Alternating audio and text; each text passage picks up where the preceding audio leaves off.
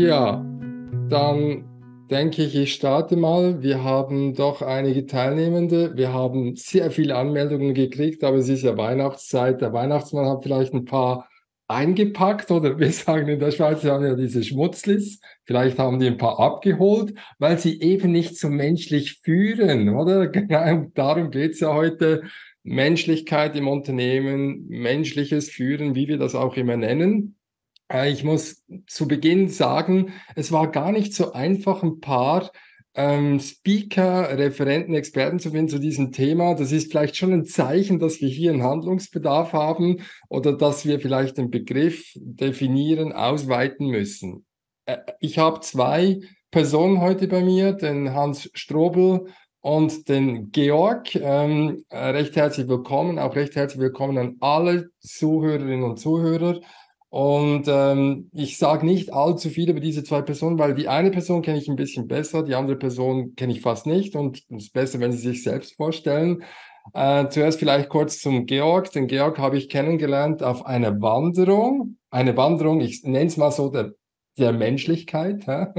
mit dem äh, Gregor Sieberg, dem Weltenwanderer, der ja Wälder in Patagonien kauft um sie zu schützen, weil er den einzigen Hebel darin sieht, sie selbst zu kaufen, die Naturschutzgebiete umzuwandeln, damit wir sie retten können. Und so habe ich den Georg kennengelernt als Gründer oder Mitbegründer dieser Ökonomie der Menschlichkeit. Äh, du kannst dann gerne eben was zu dir zu sagen. Den Hans Strobel habe ich kennengelernt. Ich habe ihn einmal kurz gesehen an einem Event. Aber aus deinem Kreis heraus habe ich viele Menschen kennengelernt, die deine Philosophie, dein Verständnis zum Thema Führung äh, teilen. Und das äh, beeindruckt mich, beziehungsweise das stößt sehr stark auf meine Resonanz. Und deshalb äh, freue ich mich, äh, dass ich beide gewinnen konnte für heute. Ich habe wieder einige Fragen vorbereitet. Wir machen das wie immer sehr interaktiv. Und ähm, ja, die erste Frage natürlich äh, an dich, Georg, ganz kurz. Stell dich doch vor, wer bist du eigentlich? Was tust du? Wie kommst du überhaupt oder wie, wie machst du dir an? Hinten sieht man ja Ökonomie der Menschlichkeit, sowas zu propagieren. Bitteschön.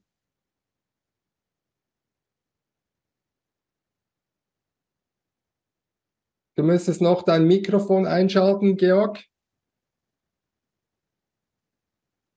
Äh, wir hören dich nicht. Also der Georg hat da irgendwie ein technisches Thema. Hans, wir schwenken zu dir. Dann würde ich vorschlagen, wir starten mit dir. Das geht auch nicht. Stefanie, was haben wir für ein Problem? Ich schaue kurz, Moment. Irgendwie. Ich glaube, irgendwer oder hat alle Teilnehmenden stumm geschaltet. Ja, ich schaue. Und dann, wenn du alle Teilnehmenden stumm geschaltet hast, hast du auch die beiden Speaker stumm geschaltet. Jetzt, jetzt geht's, Stefanie. So, also, halt doch alle frei am besten, Stefanie. So, jetzt ja. haben wir das auch da. Super. Ja, bitte, ich überlasse dir das Wort. Bitte schön. Ja, vielen Dank. Bereicherung, Andreas. Berührende Begegnungen. Mein Name eingeblendet, Georg Diegruber, einen Namen, den es in der Schweiz, glaube ich, nicht gibt. Und ich sehe immer wieder bei diesem Projekt, dass ich eigentlich äh, einen ganz anderen Zugang habe. Ich habe aus einem schweren menschlichen Defizit heraus gehandelt, habe viele, viele Lernerfahrungen in der Praxis erlebt und habe gemerkt, wie heilend das ist, Familie zueinander finden und habe immer schon das Ansinnen gehabt, es müssten eigentlich weise Menschen in unserem Land mehr zu sagen haben und 2017 äh, war Gerald Hüther, der Gehirnforscher, ganz ein wesentlicher Impulsgeber, der gesagt hat, seiner Meinung nach wird die Veränderung über die Wirtschaft passieren. Nicht über die Zivilgesellschaft, nicht über die Schulen, sondern wirklich über die Wirtschaft. Weshalb? Weil die handeln müssen, sonst gibt es viele Unternehmer bald nicht mehr. Und äh, dem sind wir gefolgt und da ist vor zwei Jahren aus Bewusst gemeinsam Leben die Marke Ökonomie der Menschlichkeit entstanden, weil uns sehr klar war, wenn, dann muss das auch noch eine außenwirkende Marke sein, eine selbsterklärende. Da gibt's Logotafeln, da gibt's einiges, wie man das Ganze sichtbar macht. Also wo man wirklich die Unterscheidung zu rein gewinnorientierten Unternehmen zeigt, wo man Zusammenhänge einfach verstehen möchte, zeigen möchte und auch in die Gesellschaft wirken. Und das ist unser Ansinnen, unser tieferes äh, ja, Wirtschaft wirklich menschlich äh, zu machen, das zu leben. Es ist kein Marketinginstrument, sondern es ist schon ein, ein wahrhaftiger Schritt und äh, ja, da kann viel gelingen und es ist interessant insofern, weil es sehr viele Experten immer wieder gibt, sehr belesene Menschen. Unser Zugang ist ein sehr naiver, dass wir sagen, wir bringen ganz besondere Menschen zusammen und schaffen eine gemeinsame Wirkkraft in die Gesellschaft und diese besonderen Menschen, Unternehmer, äh, die haben wir teilweise an Bord und jetzt geht es wirklich darum, aus diesen Prototypen in die Breite zu gehen. Und Gerald Hütter hat schon 2017 gesagt, er sollte nach Deutschland in die Schweiz gehen. Und äh, da kann wirklich was gelingen und das spüren wir auch zwischenzeitlich. Super. Vielen Dank, Georg. Dann schwenke ich gerne zum Hans äh, rüber. Hans, Bitte schön, ich habe dich in Wien gesehen bei einem großartigen Anlass, äh, wirklich mit ganz wahnsinnig tollen Menschen, inspirierenden Menschen.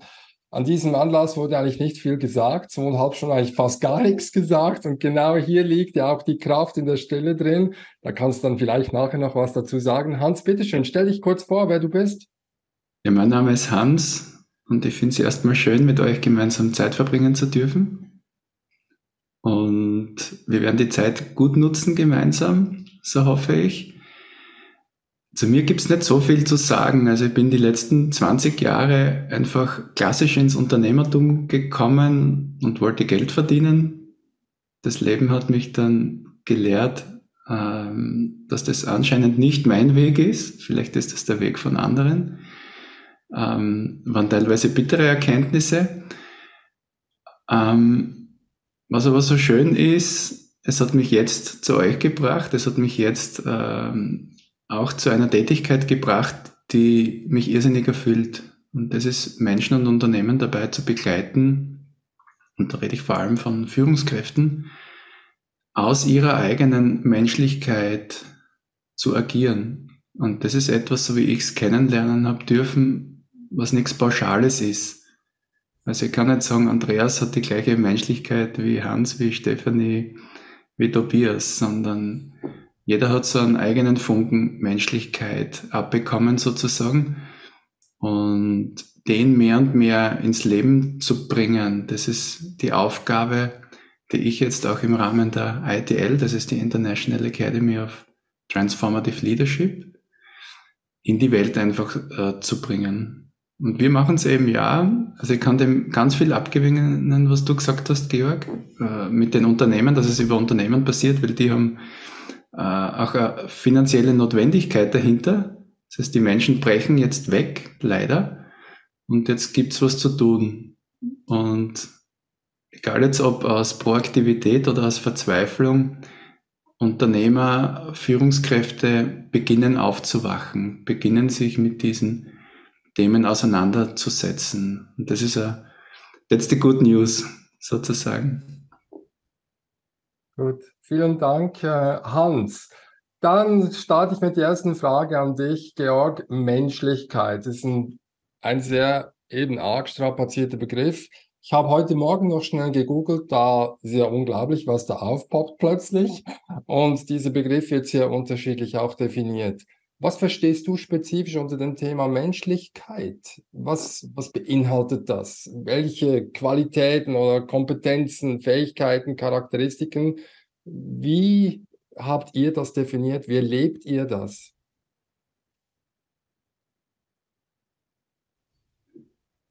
Ja. Geht wieder nicht. Ich weiß, Entschuldigung, ich weiß nicht, was das Problem ist. Georg, ich versuche nochmal dich freizuschalten, sorry.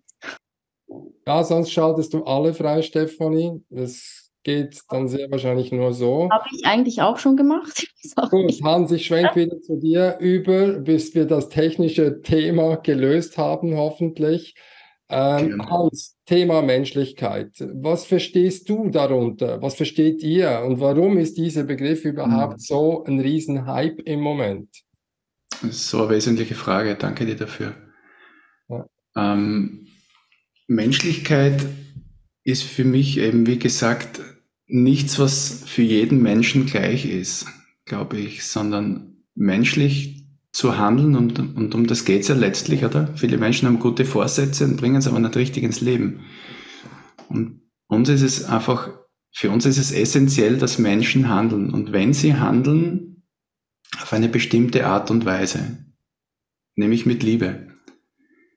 Also das ist für uns das, was das darunterliegende oder die, die allumfassende Qualität. Wir alle kennen es, uns macht nicht alles Spaß, was wir tun, oder? Und trotzdem darf ich es tun. Manchmal Hausarbeit, manchmal Unternehmen, das sind Tätigkeiten, die machen mir jetzt nicht so viel Spaß wie andere. Manche mag ich vielleicht gar nicht.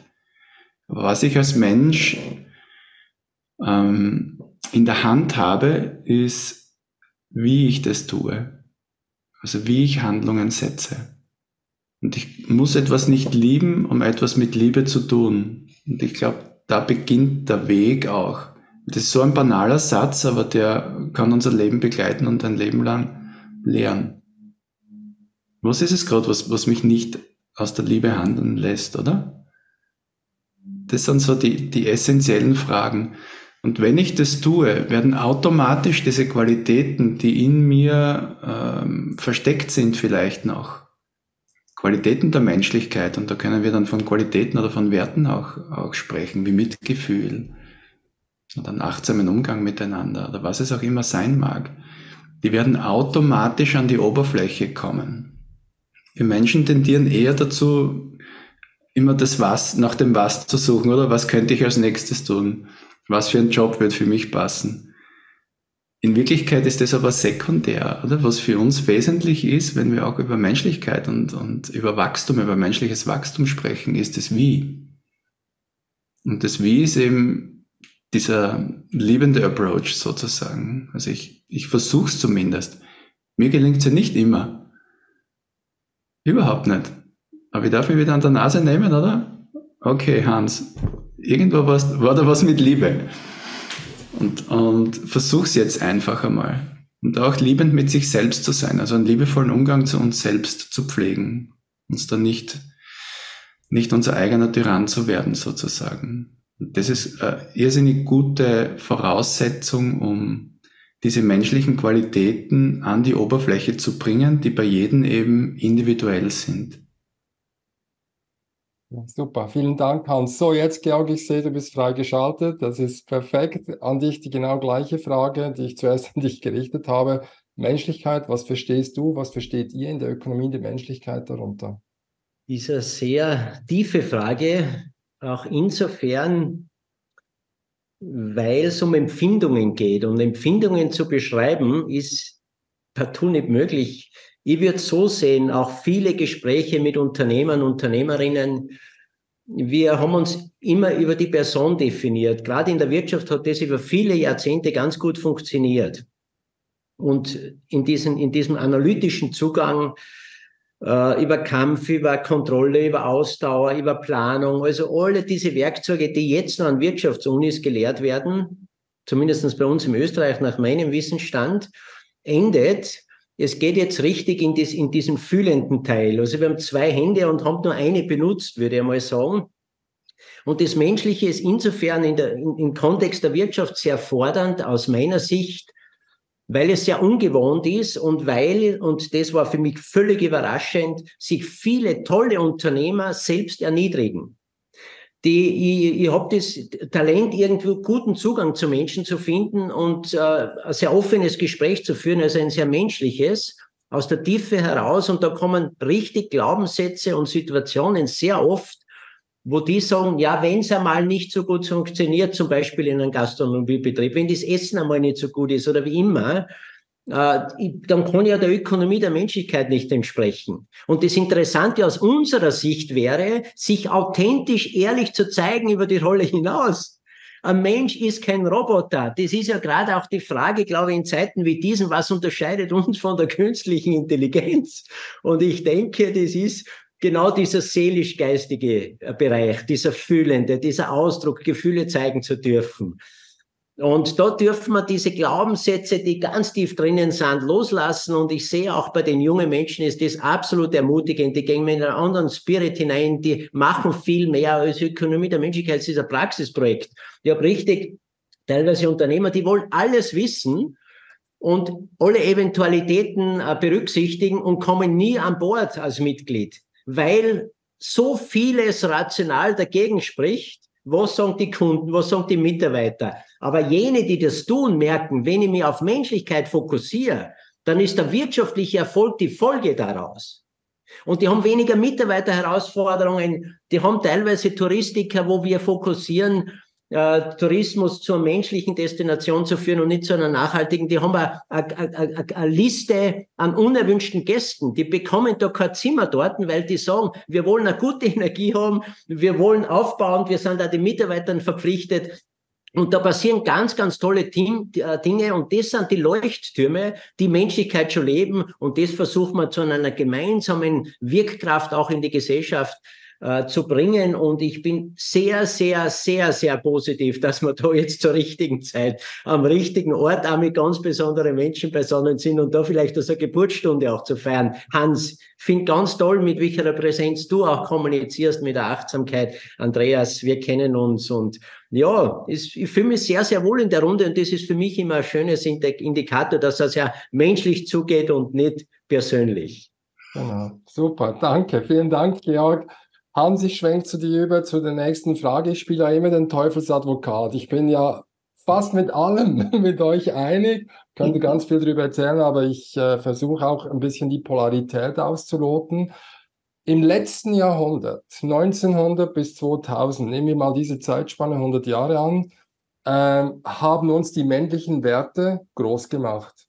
Das wird unbestritten immer wieder propagiert von vielen Top-Managern und Unternehmern. Das heißt, kommandieren, kontrollieren, korrigieren und so weiter. Und wir haben als Menschen auch viel erreicht.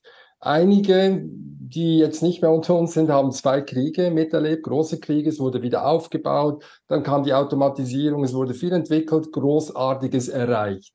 Seit 2000 merken wir alle, in den letzten 10, 15, 20 Jahren passiert was. Eben andere Werte kommen zum Zug. Also nicht mehr das Automatisieren, Prozesse optimieren und so weiter, sondern eben das Menschliche. Hans, was denkst du, woran liegt das? Ist jetzt wirklich die Ära angebrochen, um neue, andere Werte, diese Menschlichkeit zu leben? Und warum überhaupt? Warum?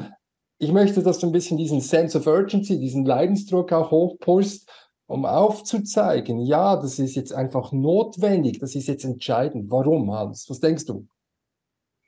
Danke.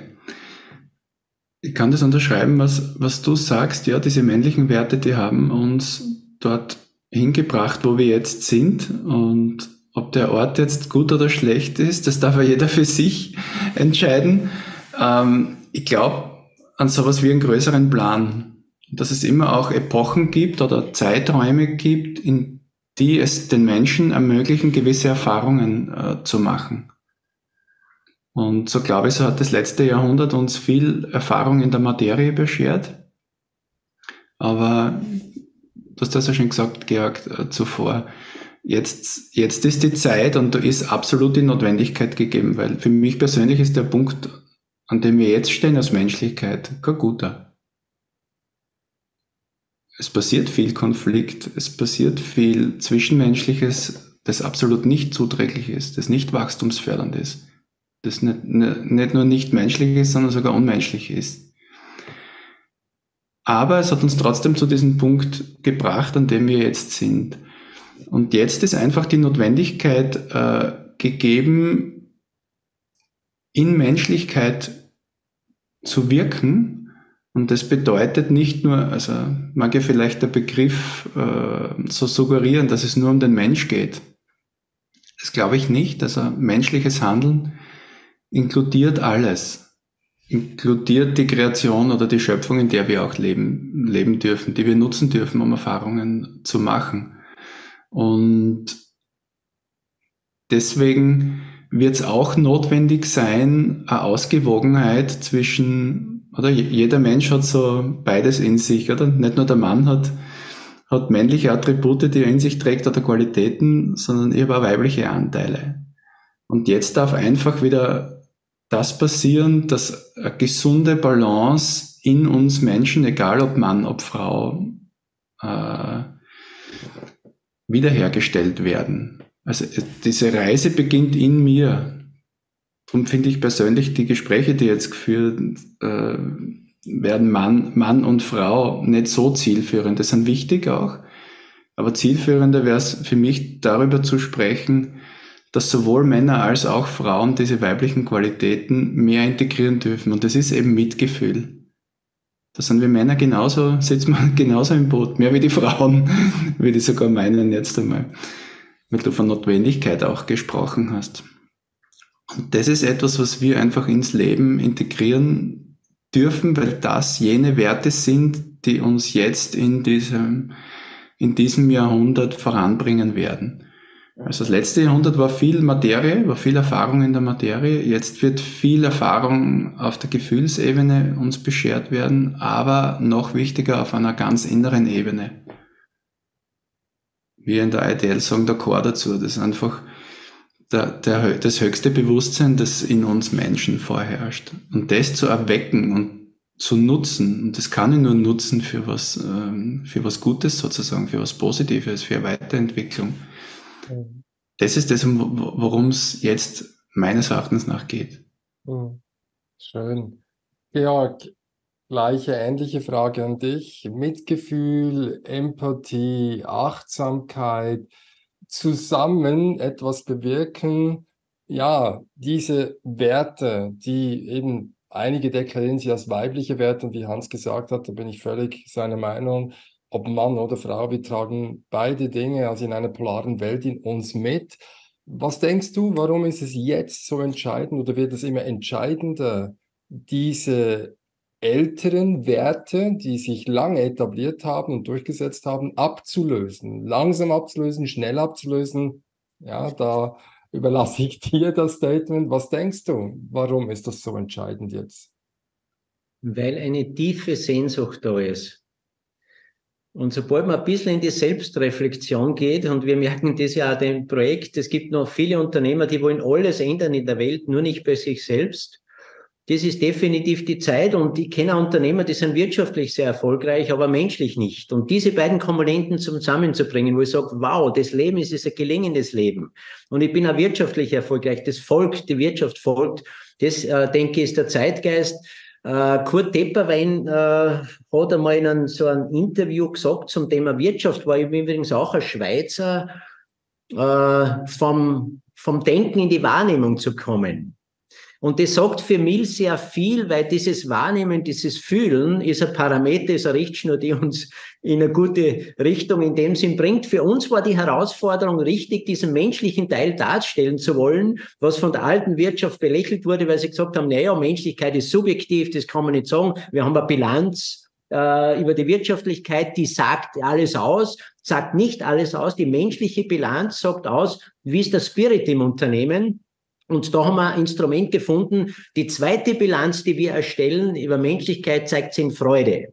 Das gemeinsame Anliegen ist Freude und Freude ist auch so absurdum in der Wirtschaft. Die sagen, na ja, das ist schön, äh, aber es ist nicht da. Und das ist der interessante Punkt, denke ich. Wir haben im Außen und Viktor Frankl und so, und ihr kennt die ohnehin alle das, das, was im Außen passiert, können wir oft gar nicht beeinflussen, aber das Wie, wie geht er heran? Und das ist die ganz große Chance. Und wenn ich eine Grundhaltung der Freude an den Tag bringe, dann wird auch die Folge andere sein. Und das berührt mich so und ist auch mein Motivator, äh, wenn ich Unternehmer wieder erlebe, die, das, die da schon drinnen sind, wo du sagst, das, es geht gar nicht mehr um die Hardware, auch in der Hotellerie. Es geht einfach darum, dass ich sage, da bleibe ich und das ist analytisch nicht verstehbar, aber es ist wirklich der Spirit. Bei uns gibt es so den Stangelwirt zum Beispiel, ein großes Hotel, das ich völlig falsch eingeschätzt habe, äh, wo richtig noch die Menschlichkeit da ist, die Einfachheit, die Verbundenheit, da ist der Bauernhof im Mittelpunkt. Das ist eine grundbescheidene Familie geblieben, trotz des wirtschaftlichen Erfolgs. Und das ist, glaube ich, auch die neue Kraft, die einen gewissen Magnetismus erzeugt, wo eben die Sehnsucht dann befriedigt wird nach diesem Austausch, wir brauchen Fühlräume. Wir dürfen uns öffnen. Ich glaube, wir dürfen uns mitteilen. Wir dürfen uns zeigen. Und das ist jetzt definitiv die Zeit. Und ich merke immer in solchen Situationen, wo das gerade passiert, das befriedigt tief. Das löst was aus. Und dann, glaube ich, gibt es auch, was dir so wichtig ist, Andreas, stellen sich die Unternehmer die Frage, ja, was möchte ich denn hinterlassen? Warum bin ich denn überhaupt da? Diese Lebenssinnfrage. Es geht um viel, viel mehr und da sind wir mittendrin. Und ich will noch einmal sagen, in der Runde, ich erlebe das selten, dass ich mich wirklich so wohl fühle, weil ich ziehe mich sonst auch zurück, wenn ich, wenn ich merke, das ist verkopft, aber da ist eine super tolle Energie, also wirklich Gratulation an alle, die da dabei sind. Danke vielmals, Georg. Du sprühst wichtig. Ich kenne immer voll Enthusiasmus. Du bist jetzt schon voll abgetaucht in die Ökonomie der Menschlichkeit. Wunderschön zu sehen und auch zu spüren.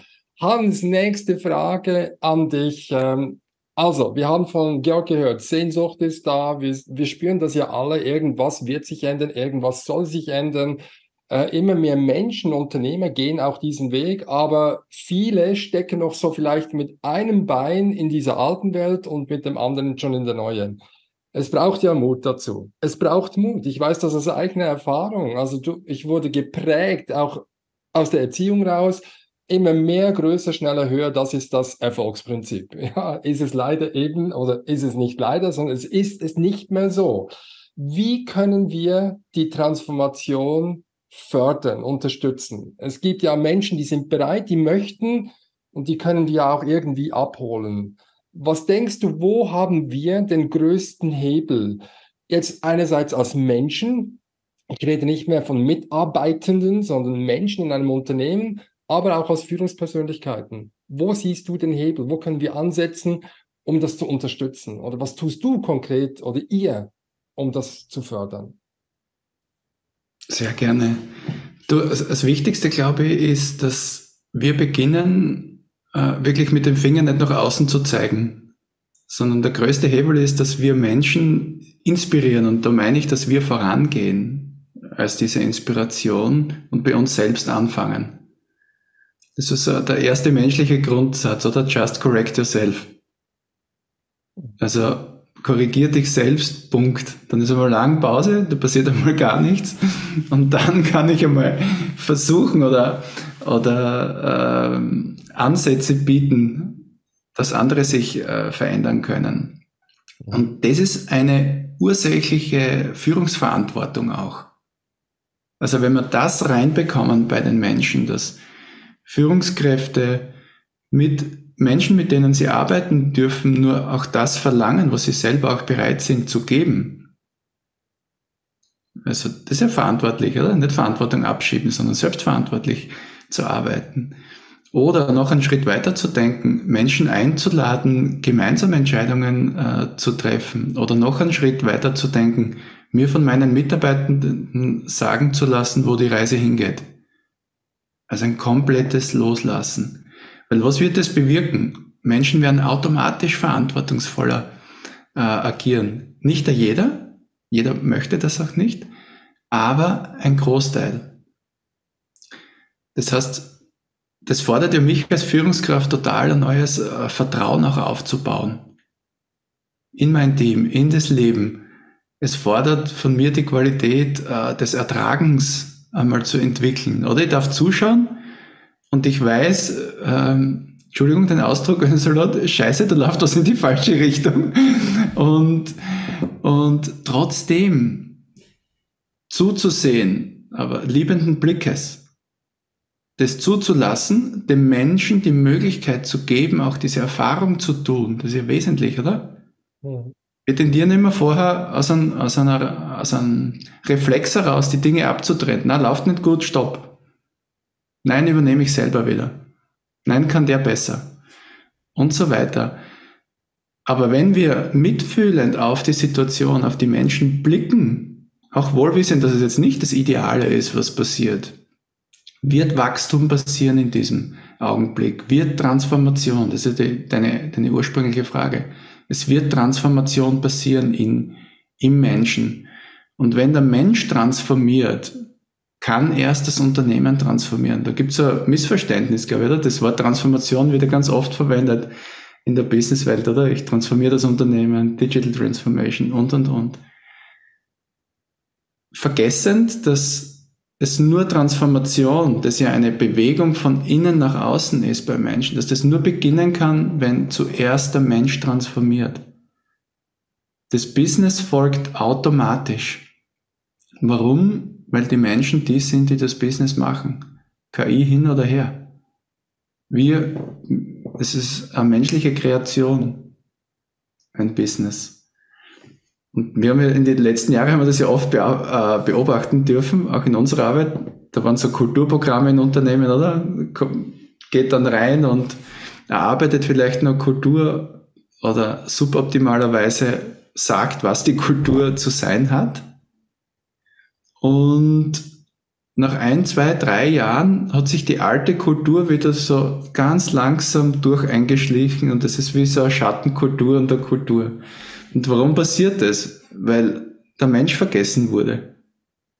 Weil die Menschlichkeit vergessen wurde. Und das passiert immer wieder. Und das ist nicht nur bei Kulturprojekten, das ist bei jedem Projekt. Wenn, die, wenn das Bewusstsein zuerst nicht initiiert wird in den Menschen, und das ist Transformation. Es beginnt bei den Menschen. Dann wird das Unternehmen äh, dir das früher oder später aber sowas von am Silbertablett präsentieren. Und das ist das Schöne, diese Reaktionszeit vom Leben oder auch vom, vom Business, die ist kürzer geworden. Ich mache was, was nicht ideal ist und das Unternehmen wird sofort reagieren heute. Früher hat das noch viele Jahre gedauert. Heute ist die Reaktionszeit Gott sei Dank viel kürzer geworden. Also sagt mir, Hans, das hast du äh, gut gemacht, das ist aus einer menschlichen Grundhaltung passiert oder Hans, das war jetzt nicht ideal. Beides. Gut, ich, ich hoffe, ich habe deine Frage so halbwegs beantworten können. Sehr schön, danke vielmals. Georg, an dich gleiche Frage. Den Hebel ansetzen, diese, ich brauche jetzt das Wort Transformation oder diese Veränderung anzustoßen, zu unterstützen, vor allem auch bei Menschen, die ja etwas bewirken wollen und schon bereit sind. Ähm, aber vielleicht eben der Mut noch fehlt. Du hast ja gesagt, viele interessieren sich ganz großartig für das, was sie tut in der Ökonomie der Menschlichkeit, aber werden dann selbst nicht Mitglied. Ja? Äh, wo denkst du oder wo setzt ihr an mit dem Hebel, diese Veränderung zu unterstützen? Einzuladen, ins Tun zu kommen. Über das Tun, also ich lerne auch nicht Schwimmen in der Theorie, sondern über das Schwimmen. Und äh, weil oft das Wort äh, Mut fällt, äh, ich erwähne öfters Gerald Hütter, weil das für mich ein feiner Lehrer ist, ist ein Geburtshelfer von uns. Und er hat lange Jahre gesagt, es braucht Mut. Und er ist von dem völlig weggekommen und er ist beim Vertrauen. Und wenn wir vertrauen in das Leben und das Leben unterstützt uns ja, und das kennen wir alle, riesige Herausforderungen, maximal grenzwertig in vielen Bereichen, oft einmal wirtschaftlich, wie es bei uns ist, äh, aber es geht dann doch weiter, weil man eben vertrauen kann in den Wandel, der ja ohnehin in dem Sinn da ist. Also ich, ich denke, wenn wir es wieder schaffen, dass die Ratio der Erfüllungsgehilfe ist und die Inspiration, wie bei allen großen Schöpfern auf dieser Erde, die da waren, die haben das alle nicht, Einstein etc. sagt ja, der Verstand ist ein Hilfsmittel und all diese Dinge. Äh, wenn wir uns auf das einlassen und jetzt wirklich loslösen, und das glaube ich ist die größte Hürde, was sagen meine Nachbarn, was sagen die Mitarbeiter, die Kunden, wenn man sie outet zur Menschlichkeit, es ist völlig absurd. Wir sind Menschen und haben eine riesen Herausforderung, über Menschlichkeit zu kommunizieren, zu reden. Es ist halt was Ehrliches. Es ist kein Marketinginstrument. Man kann das natürlich schon toll nutzen. Menschlichkeit findet Menschlichkeit. Aber nur, wenn ich es lebe. Und da unterstützen wir uns gegenseitig. Da lassen wir ein, da gibt's Freudeabende, wo man Wissenstransfer macht. Und die Energie tut auch gut, weil man Dinge auch kommuniziert, die man sonst nicht macht. Unternehmer haben so Reflexionsgespräche teilweise überhaupt noch nie gehabt, weil sie am, im Schreibtisch sitzen und eine Entscheidung zu treffen haben. Aber wo, wo kriege ich da die Inspiration? Und wir, glaube ich, sollten endlich erkennen, dass es nicht um Konkurrenz, sondern um Kooperation geht. Es ist nicht zu wenig, sondern es geht richtig darum, dass wir gemeinsam eine Wirkkraft schaffen. Und das macht mich zum Teil schon traurig, dass Unternehmer, das ist nämlich die andere Seite, die sagen, pah, ich bin höchst erfolgreich, und äh, wo ist da mein Nutzen bei dem Ganzen und wieso soll ich das tun? Und das ist zum Kotzen, Entschuldigung, weil es nicht mehr um den Unternehmenserfolg geht. Wir gehen als Gesellschaft unter, wenn wir so weiter tun wie bisher. Wir brauchen Inspiration für die Jungen, Ermutigungen. Es geht jetzt richtig um einen ganz einen großen gesellschaftlichen Auftrag und da können die Unternehmer eine ganz, ganz wichtige Rolle äh, haben dabei. Und natürlich auch profitieren, weil wenn ich Teil des Ganzen bin, habe ich auch den Profit. Und da merke ich schon sehr oft, dass es noch sehr aus dem Verkopften, aus dem Engen, aus dem eigenen herausgeht.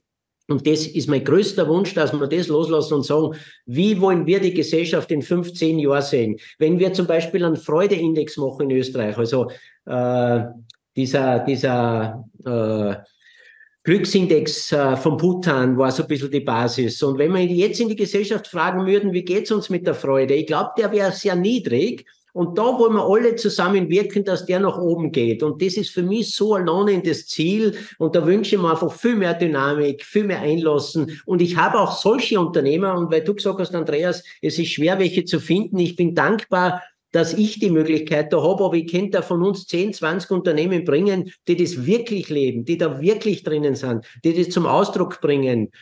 Äh, einen kennst du ja, wie man Stefan zum Beispiel, der jetzt so toll an die zehnte Generation als Schneiderhandwerk übergeben haben, wo jeder sagt, Schneiderhandwerk hat keine Zukunft völlig, völlig falsch. Wir dürfen uns nur neu erfinden. Es darf ein tieferer Sinn drin sein. Und das zeigen diese Unternehmer. Und das ist richtig ermutigend. Und da brauchen wir jetzt noch mehr Medien, mehr Unterstützung, mehr Kommunikation, mehr Bühnen, äh, Events. Also das darf jetzt richtig in die Gesellschaft kommen. Ja.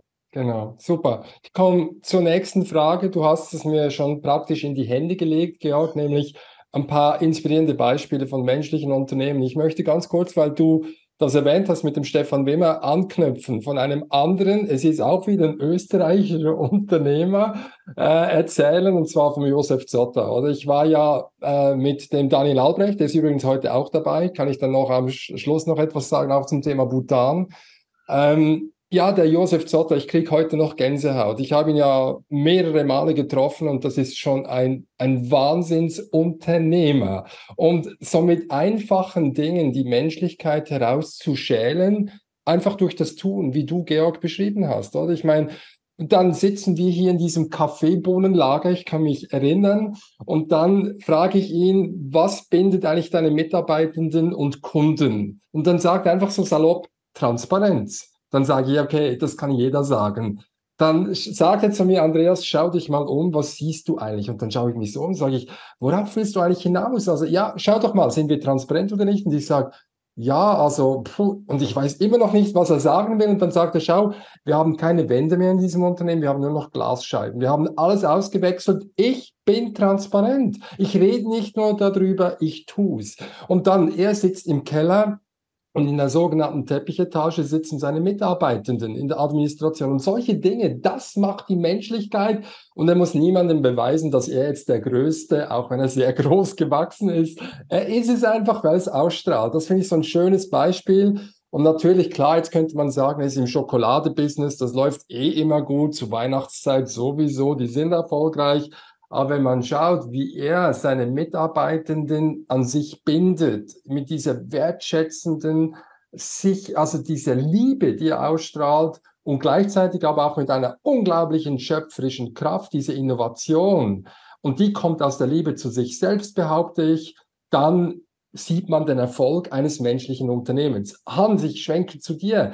Kennst du einige Unternehmen, die so funktionieren oder die eben diese Transformation oder diesen, diese Veränderung schon gemacht haben? Das, denke ich, ist, wäre sehr inspirierend für uns. Ja. Na, super. Danke.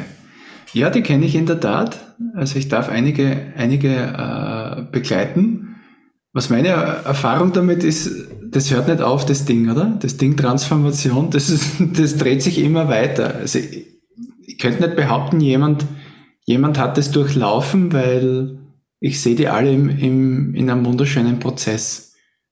Und ich sehe auch kein Ende darin. Und das ist auch das Befreiende, oder? Also ich, ich muss nirgends ankommen, weil wir haben gelernt, oder? Ich bin selber Betriebswirt, ich habe gelernt in meinem Studio, irgendwann, du brauchst ein Ziel und dann bist du angekommen. Und Transformation, wenn man so will, das befreit dich befreit dich von dem Ziel. Du darfst immer weiter wachsen. Das ist Schöne. Ich, ich rede vielleicht zuerst ein bisschen aus, aus unserem Unternehmen, wenn das okay für dich ist. Bitte, ja, bitte. Also von der ITL. Wir, versuch, wir probieren uns ja aus, wir versuchen da Dinge. Und was so das Wesentlichste oder die wesentlichste Erkenntnis für uns war, ist, dass selbst wir, die geglaubt haben, wir, wir teilen uns eh so mit und das, was wirklich in uns ist und wir drücken uns aus als Menschen, dass es selbst hier nicht der Fall ist. Und dass das einer der größten Hürden heutzutage ähm, für mentale und emotionale Belastungen ist. Das heißt, was, wo wir uns ausprobieren gerade ist dieser, dieser Ausdruck, wirklich dieser zutiefst menschliche Ausdruck, wo ich eine emotional sichere Umgebung schaffe, in der das auch möglich ist. Und da einfach bin und zuhöre. Weil ich kann nicht sagen, oder? Die Menschen das ist der Hans privat und das ist der Hans als, als Unternehmer. Es gibt nur einen Hans, Punkt. Das ist mir so der Wunsch, oder? In der Firma bin ich so und daheim da. Natürlich nehme ich die, die Themen von zu Hause mit in die Firma und, und vice versa. Und das ist aber wie im Kleinen, so im Großen. Das ist dann bei einem ganzen Team oder bei einem ganzen Unternehmen. Und was die mitbringen, ist sehr viel emotionaler Stau, weil Menschen diese Möglichkeit nicht mehr haben, sich eben in der Tiefe auszudrücken. Oder da gibt's ja in Österreich, sagen wir das zumindest, sich etwas von der Seele zu reden. Kennen Sie das? Ja. Also ich, ich, ich, ich spreche drüber und ich erfahre dadurch Erleichterung. Und das ist so wenig passiert in den letzten Jahrzehnten, auch viel runtergeschluckt, weil es einfach nicht, äh, sich so nicht gehört, nicht attraktiv ist in Unternehmen, äh, nicht sein darf. Und das wurde unterbunden und auch in Familien. Und wenn ich emotional was unterbinde, dann wird es langsam mental und irgendwann wird es körperlich. Und wir wissen, oder die WHO prognostiziert uns und alle, alle leider, alle Zahlen sprechen dafür, dass 2030 mentale Herausforderungen äh, Nummer eins der globalen Volkskrankheiten sein wird. Und wenn wir jetzt diesen emotionalen Ausdruck, noch einmal auf das Beispiel zurückzukommen, leben, dann verringern wir quasi diesen Berg in uns, es werden weniger Gedanken angezogen, die negativer Natur sind und auch die körperlichen Beschwerden werden abnehmen. Und das ist fantastisch. Und das ist sowas Simples, oder? Red drüber. Wir sagen, nein, ist zu einfach. Da tun wir eh. Das machen wir eh alle bei uns im Unternehmen. Das heißt, das wird der Standard sein. Aber das ist das, was wirklich Transformation fördert von Unternehmen. Warum? Weil es in die Tiefe der, der Menschlichkeit geht. Also es gibt auch, äh, ich betreue ganz große Unternehmen, also wirklich so, so Konzerne. Und auch die, ich kann da jetzt keine Namen nennen, aber, aber nur als, als Beispiel. Das sind, das sind, mein, äh, das sind Konzerne, die, die Abertausende oder Zehntausende Menschen einen Arbeitsplatz schenken. Und wenn du von außen drauf schaust und auch wenn du Gesprächen lauscht von Managern dort, das ist wirklich ein, ein hartes Umfeld, also knallhartes Umfeld. Und jetzt könnte man sagen, ja, der transformiert nicht oder das ist dem, dem Untergang geweiht sozusagen die nächsten äh, Jahre. Und trotzdem sehe ich da auch Licht bei denen. Warum? Weil es einzelne Menschen gibt, die, du hast vorher von so äh, Lichtsäulen, oder wie, hast das du genannt? Oder so, so die, die Leuchtfeuer oder so hast du das, glaube ich, genannt, oder? die wirklich als Leuchtfeuer in den Unternehmen äh, agieren. Und die haben so eine Kraft und die Kraft unterschätzen wir. Wenn es einer wirklich ernst meint bei Transformation und das ein Unternehmen zum Beispiel, das hat so über 50.000 Mitarbeiter und da kenne ich ein paar, da darf mit ein paar Managern arbeiten. Und ich weiß, dass die so eine Strahlkraft haben, dass jedes Wort Gewicht hat, das die, äh, das die sagen, dass jeder Gesichtsausdruck äh, kopiert wird oder Dinge legitimiert im Unternehmen oder Inspiration wird für Mitarbeitende. Und darum bin ich auch überzeugt, äh, dass diese Unternehmen bereits in Transformation sind, obwohl man nicht sagen würde von außen, das ist jetzt nicht so unbedingt das Best Practice Beispiel, wo das ganze Unternehmen von ganz oben quasi alle Ebenen durch Transformationsprojekt macht. Ist es nicht. Und es ist egal weil manche Menschen darin äh, diesen Weg quasi beginnen zu gehen. Wir haben heute schon einmal gehört, dieses Tun ist, ist so wichtig. Und meine Erfahrung ist, es ist egal, ob, ob das, ob das top-down äh, vollzogen wird oder ob einzelne Leuchtfeuer entstehen. Die Leuchtfeuer sind im Normalfall so stark, wenn sie bleiben, äh, dass das ganze Unternehmen mit transformiert wird. Denn wenn ein Mensch oder Systemik, ganz einfach, oder? Dreht sich, dreht sich ein Rädchen, müssen sich die anderen mitdrehen. Die drehen sich vielleicht langsamer, wir sind vielleicht ungeduldig. Wir sehen es vielleicht nicht morgen, aber wir sehen es übermorgen und überübermorgen, die Veränderung. Und das macht mich ehrlich gesagt äh, sehr, sehr hoffnungsvoll. Super. Vielen Dank. Gibt's aber auch. Danke. Ja, ja Entschuldigung, das war jetzt lange. Ich kann nur auf die Zeit, ich möchte nicht unhöflich.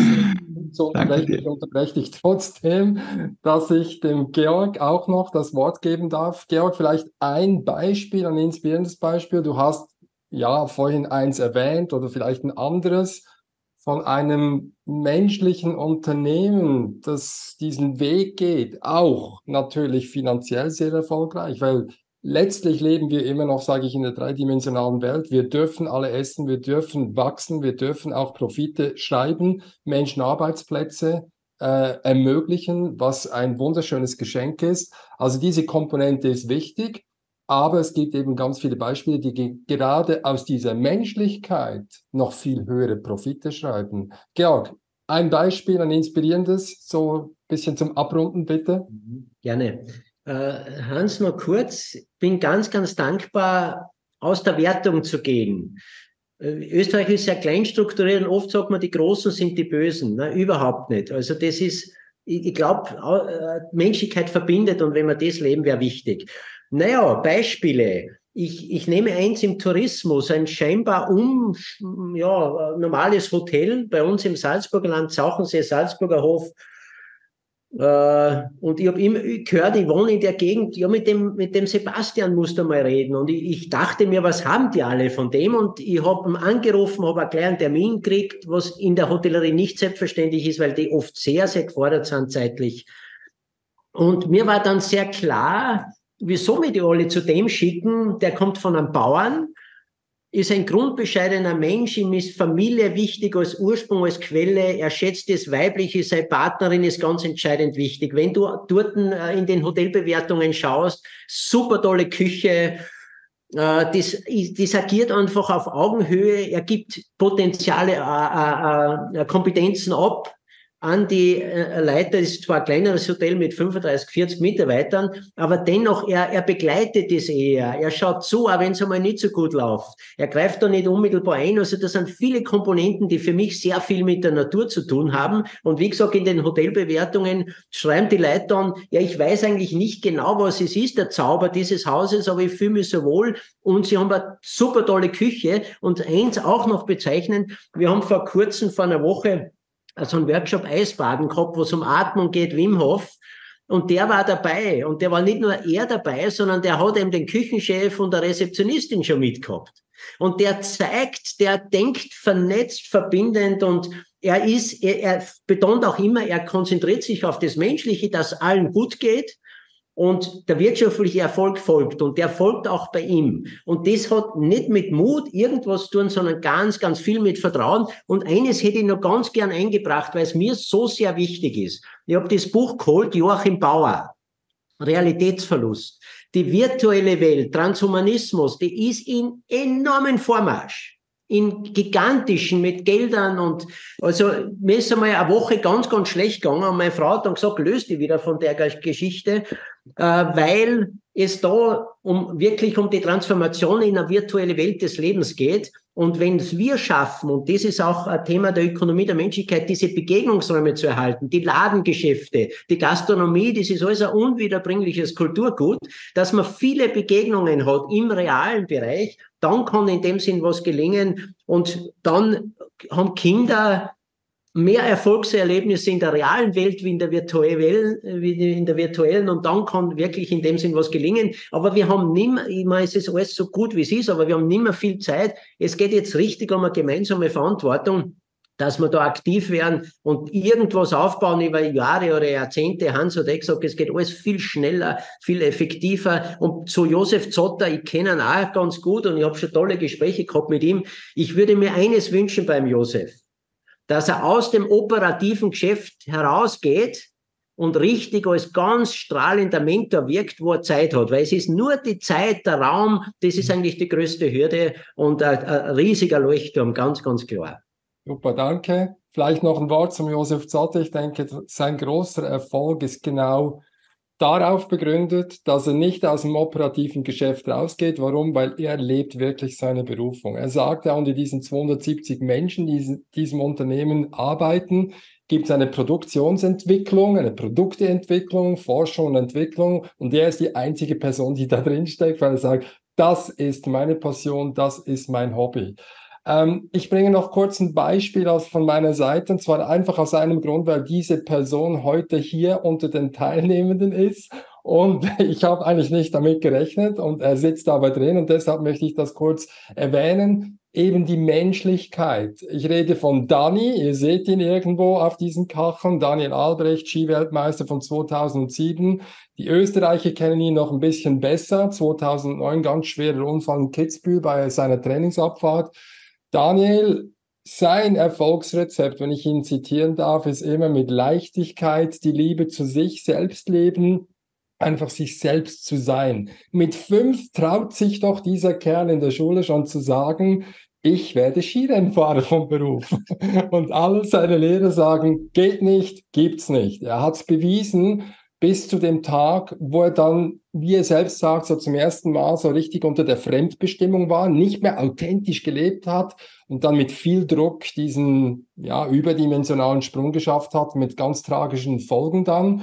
Dani ist wieder auf dem Weg zu einem diesen diesem Higher Purpose sage ich, Hans, wie du es erwähnt hast, diese höhere Sache, in Dienst einer höheren Sache zu stehen, das ist ja sehr spirituell und da bewegen sich aber auch immer mehr Manager dahin. Die höhere Sache ist, mit seinem Campus B, den er jetzt dann gründet, ähm, Kindern zu helfen, einfach zu sein. Deshalb heißt es Campus B, to be, einfach zu sein. Wie du es, Hans, Georg erwähnt haben, jeder Mensch ist vollkommen und in dieser Vollkommenheit einfach drin zu bleiben. Wir sind alle perfekt geboren. Es gibt nichts zu korrigieren. Und dann wird's das ist mein Zitat, rausgeprügelt und ja, dann kämpfen oder holen wir es langsam wieder zurück.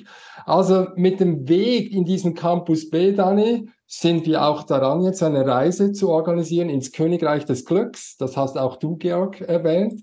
Wir werden die Königsfamilie treffen in Bhutan. Wir werden den Premierminister treffen. Der Tourismusdirektor hat sich auch schon angemeldet, als er gehört hat, dass der Dani kommt. Als ehemals Skiweltmeister wollen die jetzt ein Skigebiet bauen, was wir sicher nicht zulassen in diesem wunderschönen Land, geht überhaupt nicht. Und wenn ihr Interesse habt, den Dani zu begleiten, diese Reise ist ausgeschrieben, ihr findet den Link auf dem Internet, dann seid ihr recht herzlich eingeladen. Es ist eine sehr exklusive Reise in ein hochspirituelles Land, eben welches diesen Glücksindex verkörpert. In diesem Zusammenhang mache ich noch darauf aufmerksam, dass wir dann Ende Mai nächsten Jahres mit unserem Programm Inspiration Leadership starten, um wirklich Menschen und Unternehmen in ihre volle Größe aus diesem authentischen Kern, aus der Liebe zu sich selbst zu bringen, mit, sage ich, wirklich einzigartigen Methoden. Wir wenden ja pferdegestütztes Training an. Wir haben Business Yoga drin. Äh, wir gehen sehr stark in die emotionale Ebene und so weiter mit tollen Menschen. Und wenn ihr interessiert seid daran, ihr findet mehr Informationen auf unserer Webseite. Hans und Georg, vielen Dank für euer Engagement. Äh, es hat mich sehr gefreut eure Energie zu spüren. Georg, deine sowieso wie immer ein Feuerwerk. da sprudelt mit viel Wirkungskraft, Schaffenskraft, Strahlkraft. Vielen Dank. Hans, dir ohnehin, du steckst in, einer, in einem wunderbaren Umfeld mit Menschen, von denen ich einige kenne. Und äh, ich danke vielmals für euer Engagement und wir werden uns wiedersehen. Vielen Dank an alle anderen. Ich wünsche euch jetzt schon schöne Weihnachten, besinnliche Zeit. Der Georg möchte dann noch was sagen. Überlasse ich dir noch ein Schlusswort. Auch Hans, du darfst noch kurz was sagen. Wir haben noch ein paar Minuten Reserve, die ich mir immer vorbehalte. Bitte, Georg. Ich danke euch herzlich und ein Hinweis, äh, das war großer Wunsch, ist öfter die Runde gegangen. Wir werden sehr wahrscheinlich im kommenden Herbst eine Bodenseerunde starten und Deutschland, Schweiz, eröffnen und indem da viel aus eurer Gegend kommt, äh, könnte das ein Highlight in 2024 werden.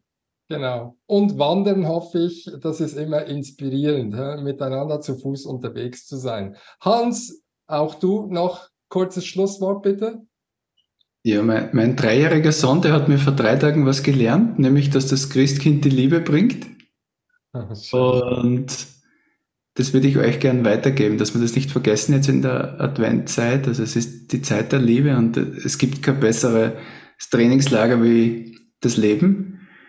Und nutzen wir diese Adventzeit, die Dinge, die wir tun, mit Liebe zu tun. Das wünsche ich uns allen. Alles Liebe euch. Vielen Dank, wünsche euch allen auch. Bis bald, tschüss, eine sehr schöne, besinnliche Zeit. Tschüss. Ciao, danke.